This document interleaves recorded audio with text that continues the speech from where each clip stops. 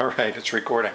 And, and in my how-to videos, I figured it was really important to show how to open a, uh, a bottle of wine with a, with a waiter's key or waiter's tool, whatever you call this bottle opener. And as I'm opening this, I'll explain. you might look at that bottle of, you gotta cut the paper here. It's a big old bottle of Vendange Merlot. And I know you're saying to yourself, could you possibly have bought any cheaper wine? And the answer is yes, I, I actually could have.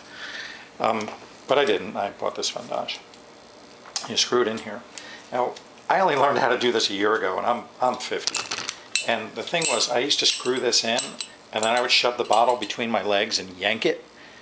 And somebody just hit me out of the way one day and smacked me in the head and showed me this is like a lever.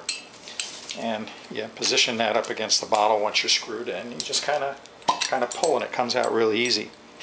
And I had a real oh dumb moment because of all the uh, technical things that I know in my life about electronics and programming and computers. Some of the uh, I, I don't even know if I'd call that simple, but some of the simple things in life just elude me. And I'm sure that uh, a lot of other people out there understand exactly what I'm talking about. But anyway, and this is how you pour the wine.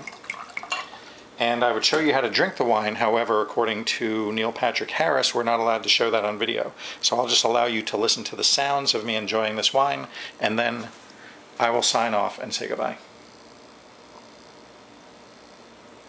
Mmm, that's good Merlot. Goodbye.